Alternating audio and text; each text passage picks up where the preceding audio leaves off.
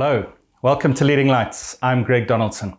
Have you heard the new song called The Blessing? It's beautiful and wonderfully during this lockdown time, many different churches and nations have got together remotely, sung the song, and clever people have mixed it together and formed a virtual choir singing The Blessing. What a wonderful song. The words of the song go like this The Lord bless you and keep you. Make his face shine upon you and be gracious to you. The Lord turn his face toward you and give you peace. May his favor be upon you and a thousand generations and your family and your children and their children and their children. May his presence go before you, behind you, beside you, all around you, and within you. He is with you, He is with you. In the morning, in the evening, in your coming, in your going, in your weeping and rejoicing, He is for you, He is for you. It is the most beautiful song. And today I want to talk about the story behind the blessing because it comes straight out of Scripture in Numbers chapter 6 the Lord told Moses to command Aaron and the priests in this way. It says in verse 22 And the Lord said to Moses, spoke to Moses, saying, Speak to Aaron and his sons. Aaron and his sons were the priests who ministered in the tabernacle, saying, This is the way you shall bless the children of Israel. So Aaron and his sons were commanded to speak a blessing, and God gave them the words that they should say. Say to them, The Lord bless you and keep you. The Lord make his face shine upon you and be gracious to you. The Lord lift up his countenance upon you and give you peace. So they shall put my name on the children of Israel, and I will bless them. Wow, what an amazing promise. God says, I, the creator of the universe, the one who speaks and universes are created, the one who can change anything in an instant, the Almighty God, God says, I will put my name upon them which means in the spiritual realm, those who have this blessing on them walk around with God's name written on them, and all the spiritual forces can see that one belongs to God. And I, God says, will bless them. Bless them. What is a blessing? A blessing is a word spoken by someone who has the authority to speak it that causes power and supernatural release of God's presence and his blessing to come into a person's life and on a person's life. Imagine that. Imagine you could have a name or a mark written on you and a blessing put upon you that meant wherever you went, God's power was with you, His presence, His protection, His favor. He says, This one's mine. I am with them. I am for them. They represent me and I speak for them. That is the power of a blessing. And in the Bible, God commands people in authority to speak. It has to be voice activated to speak a blessing over their children, over their countries, over various situations. When we speak a blessing, amazing things happen. And God commanded Aaron and the priests to speak this, and most Bible scholars believe that they did this every single day. In the morning, they would speak this blessing over the people. The Lord bless you. The Lord keep you. Make his face shine upon you. Can you imagine the smiling face of God?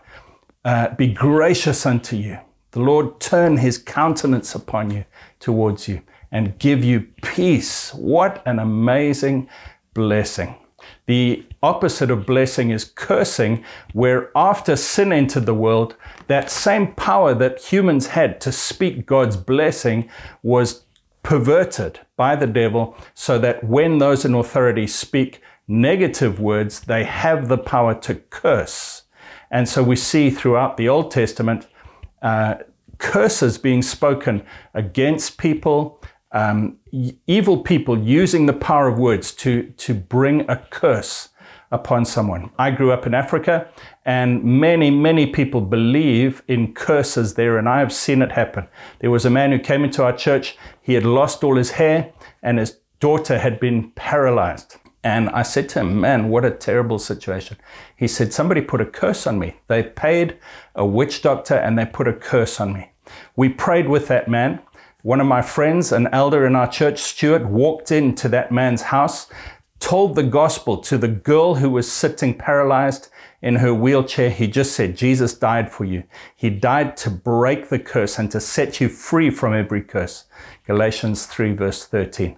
Galatians 3:13 says, Jesus became a curse for us because it is written, Cursed is everyone who is hung on a tree, so that we might be free from the curse of the law and receive the blessing of Abraham.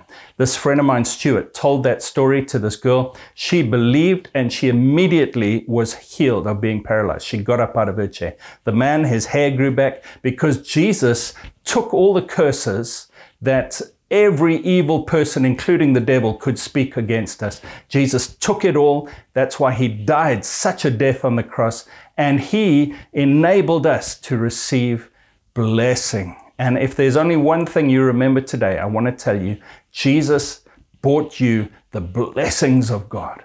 The blessings of God, the spoken blessings of God. Proverbs 26, verse 2 says, like a flittering sparrow or a darting swallow, an undeserved curse cannot come to rest. Friend, I want to tell you, you don't deserve any curse. It doesn't matter what anyone has spoken against you. It doesn't matter what that authority figure said. It doesn't matter if there were a thousand witch doctors paid to curse you. The power of Jesus' blood is stronger. The power of God's blessing is stronger. Jesus took that curse and now it's an undeserved curse. It cannot come to rest on you because you are blessed. You are blessed. But now I want to tell you the story behind the blessing. Now, the song, The Blessing, was written and sung by Kari Jobe and her husband and the Elevation Worship Church team. And it's been wonderful. It's just blessed the world because so many people are singing it. Can you imagine in the spiritual realm the ripple effect of all these people singing and speaking this blessing over their countries, over their families? It's just wonderful. That's the story behind the song, the recent song, The Blessing. But I want to tell you the story behind the blessing in Numbers chapter 6. It starts just a few months before. The Israelites have come out of Egypt, slavery, where for hundreds of years they were kept in bondage. They were forced to do manual labor. They were tortured. Their children were killed. They were set free miraculously by God. They went through the Red Sea, and the armies of Egypt were drowned in the Red Sea. They wandered in the desert for a few weeks. Eventually, they came to Mount Sinai, and God called Moses up to the top of the mountain. There was thunder and earthquakes and lightning, and God gave the Ten Commandments. And as Moses is coming back down from being with God for 40 days, getting the Ten Commandments, as he's coming back down the mountain, the people in 40 days have forgotten They've convinced Aaron, Moses' brother, to melt all of their gold jewelry that they took from Egypt as plunder. As they left Egypt, God made all the Egyptians give them all their jewelry and all their wealth. And so they had all this gold and they melted it down. It's hard to imagine this, but it's true. They melted it down. They made a golden idol, an image of a calf, a baby cow, and they started worshiping it. They started dancing and singing and saying, This is our God. And as Moses is coming down from the mountain, he hears the sound and his assistant says, Look, there's, uh, there's happiness. And he says, No, no, there's something wrong. And he gets there and he sees them worshiping this calf. He is so angry. He throws the Ten Commandment stone tablets on the ground. They are shattered. And then he goes before God and he speaks to God. He says, Please, please, God. God says, I'm not going to go with this people anymore because I, am going to destroy them. You go ahead with this people, but I'm not going with you anymore.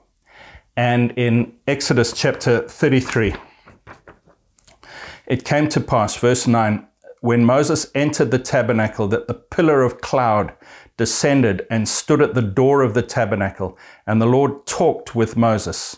All the people saw the pillar of cloud standing at the tabernacle door, and all the people rose and worshipped, each man in his tent door.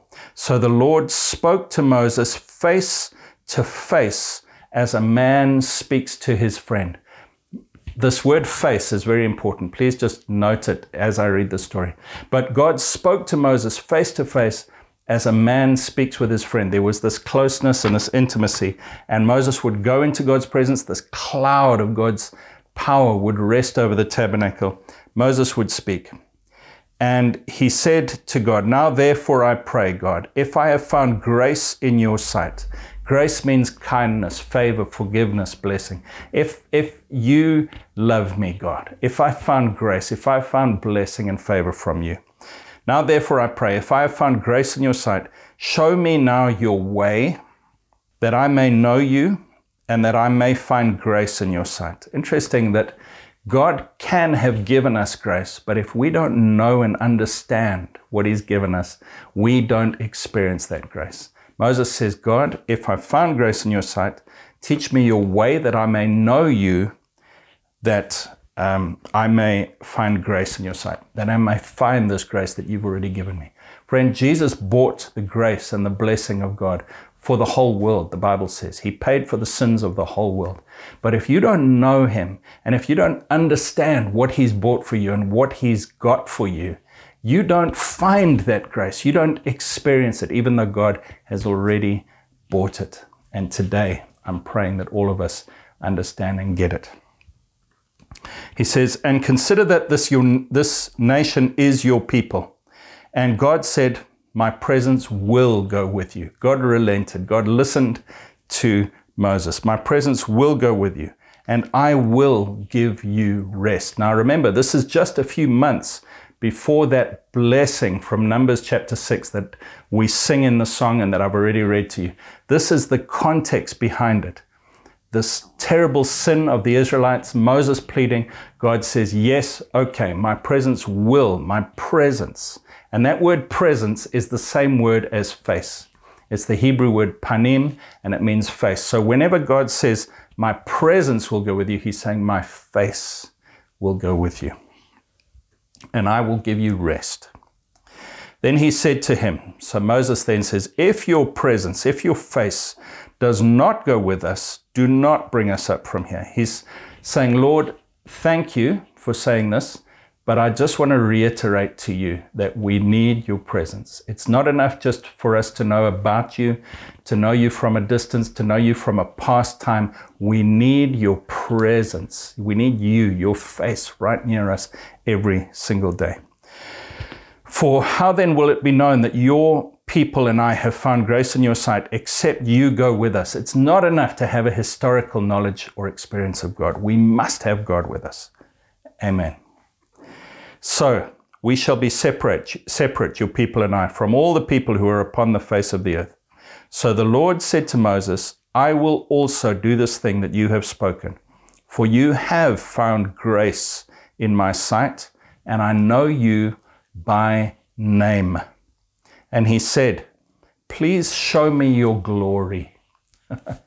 Please show me your glory. Lord, I want to see more of you. I want to see your face. I want to see your beauty. I want to see who you are. Then God said, I will make all my goodness. Remember this word blessing, God's goodness, His favor. He's with you, He's for you. I will make all my goodness pass before you, and I will proclaim the name of the Lord Yahweh. That, that word Lord in the Bible, capital L O R D, is, is the word Yahweh in the Hebrew. I will proclaim the name. I'll let my goodness pass before you, and the name of the Lord will be proclaimed. You see, understanding the name of the Lord, not just the word Yahweh, but what it means. In Exodus 3, Moses says to God, What is your name? And he says, It's Yahweh, I am that I am. I am. Not I will be, not I was, I always am. And I am all these different things. And then he added all these names to this word Yahweh. Throughout the Old Testament, he says, I am the Lord your righteousness, the Lord your banner, the Lord who is there, the Lord your healer, the Lord your provider, the Lord your shepherd. In the New Testament, Jesus said, I am. And he used a very similar phrase in the Greek language, ego eimi, which is an unusual phrase. I am that I am. And he said, Before Abraham was, I am. This is Jesus speaking. And then he said, I am the bread of life.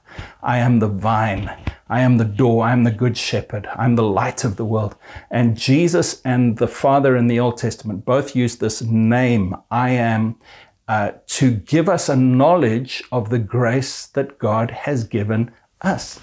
And so God says, when Moses says, Lord, show me your way, show me your glory, God says, I'll let my goodness pass before you. You'll sense my presence, but also I will say my name so that you may know and understand what this blessing means for you. And then he says, I will be gracious to whom I will be gracious. I will have compassion on whom I will have compassion. And then the very next chapter, 34 of Exodus, verse 5, this is the fulfillment of this promise when God now shows his glory to Moses. Verse 5 Now the Lord descended in the cloud and stood with him there and proclaimed the name of the Lord Yahweh. And the Lord passed before him and proclaimed. Wow, can you imagine Moses hearing God's name and sensing God's presence? And this is what God said The Lord, the Lord God, Yahweh, Yahweh, merciful, gracious, long suffering. This is his name he's proclaiming.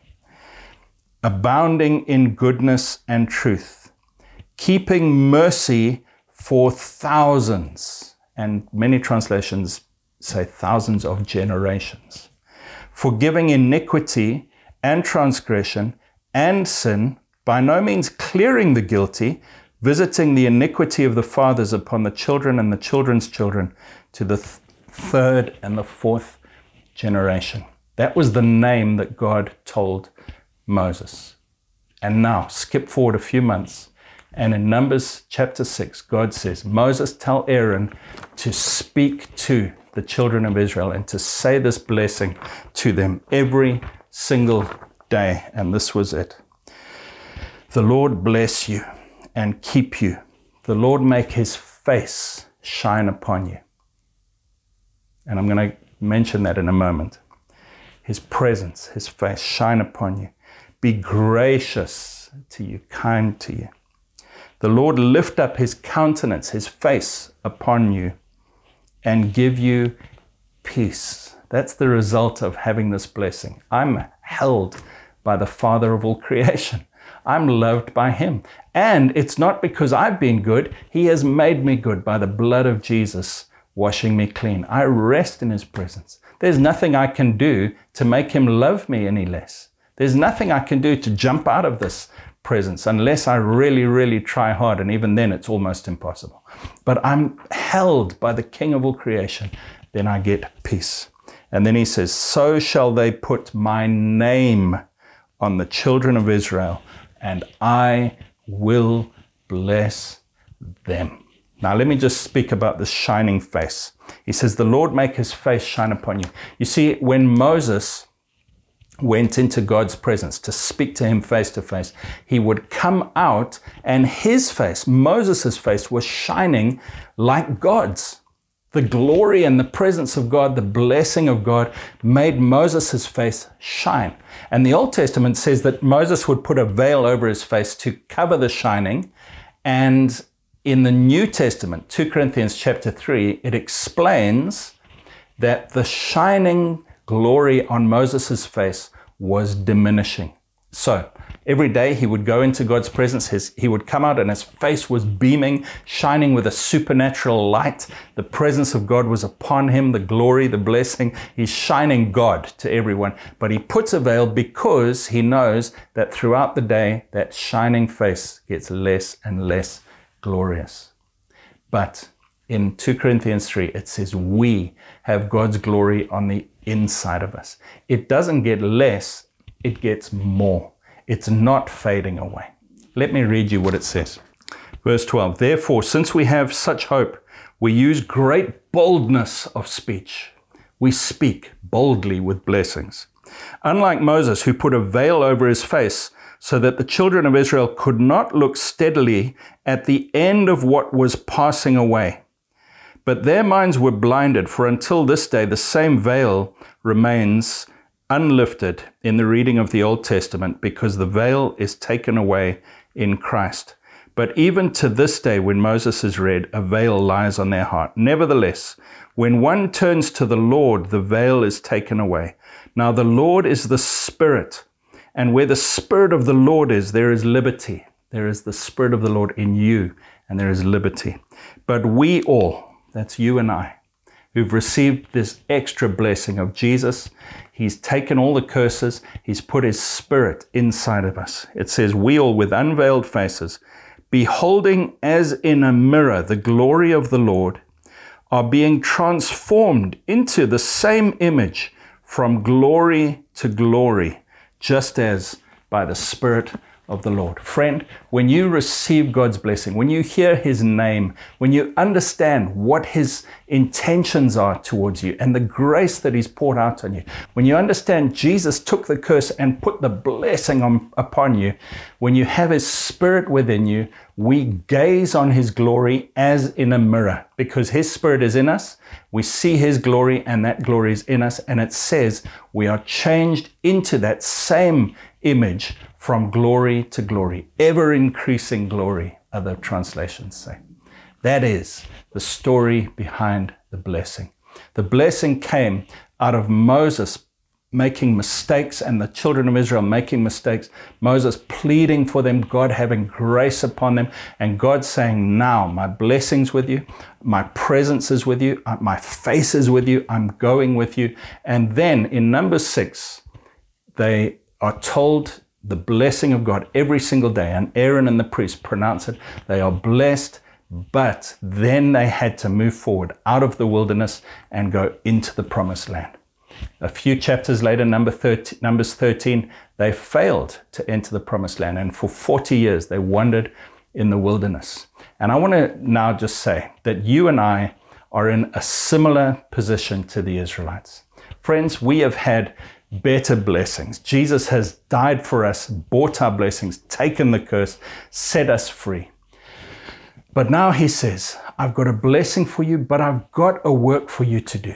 You have been in captivity, locked down. The Israelites were years in Egypt and uh, then a couple of years getting to Mount Sinai before they were sent off with God's blessing. You and I have been in lockdown uh, because of coronavirus for 12 weeks. And in that time, we've had some failures and some weaknesses. I know many of us uh, have felt very vulnerable and very weak at this time. We've failed in various areas. Maybe you've been lazy. Maybe you've put on weight. Maybe you've failed in your communications with family members. Uh, maybe you've sinned and you feel like, oh, this is terrible. Or else we've learned some lessons. We've learned some things that we must value in this time of lockdown. I don't know about you, but I've learned a few things. I've learned the value of rest, the value of making space in my calendar to just be with the Lord, be with the people I love, and not have lots and lots of appointments planned out. I've been very, very busy, but it's been a different kind of busyness. It's been a restful busyness with God's presence upon me. Many of us have learned the value of exercise. We've had to do walks every day. Many of us have learnt the value of um, being able to communicate in different ways. You know, the Zoom groups that have blossomed in our church and many other places around the world. We've seen that we can have small groups and prayer and discussion and fellowship and love over the internet with people in other countries. We've had some wonderful fellowship with people from all over the world in our Zoom groups. We've learnt the value of hairdressers, amen, and how much we need them, and nurses and cleaning people. We've learned that it's not always the, the fancy, high paid celebrities who are the important people in the world. Hairdressers, man, we need them. People who clean things and nursing staff. Wow, amazing, amazing people. We've learned some wonderful lessons, but I want to say that now we are like the Israelites. This blessing is pronounced upon you and me. We've learned some lessons, but now it's time to pack up our stuff and to start moving forward. God said to the Israelites, You've been going around this mountain long enough. Let's move on. Let's get going. There's a place for you to go. There are promises for you to inherit. There are giants for you to overcome. There is a world and a, and a land, a promised land for you to occupy. God has a job for us to do. Friends, let's thank God. Thank God for what we've experienced, for what we've learned, for the blessings, the protection, the fact that many people in our church have had coronavirus and recovered, the fact that in Jersey we only have two active cases of coronavirus, two in the whole island. The fact that things are opening up, that we can meet together again, and the fact that God has great, great things in store for us. Father God, I thank you for your blessing, and I speak your blessing right now over myself, over my family, and over our church and everyone who's listening to me. The Lord bless you. The Lord keep you. The Lord make his face, his presence, his power shine upon you and be gracious to you. The Lord turn his face towards you, towards you, and give you peace. He is with you. He is for you in the morning, in the evening, in your coming, in your going, in your weeping, in your rejoicing. He is with you and your children and a thousand generations. God is with us. Hallelujah. God has always cared about the whole world. I have raised you up for this very purpose, that my name might be proclaimed in all the earth. I have made you a light for the nations, that you may bring my salvation to the ends of the earth. Go and make disciples of all nations, baptizing them in the name of the Father, and of the Son, and of the Holy Spirit, and I am with you always, even to the end of the age. Visit leadinglightsnetwork.com or download the Leading Lights app from any app store.